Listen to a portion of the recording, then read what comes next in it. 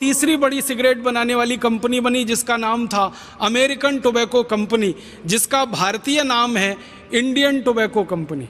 आपने भारत में एक नाम सुना होगा, आईटीसी। ये मूल नाम है अमेरिकन टोबैको कंपनी। उसका भारतीयकरण करके कर दिया इंडियन टोबैको कंपनी। सारी दुनिया के देशों में ये कंपनी काम करती है।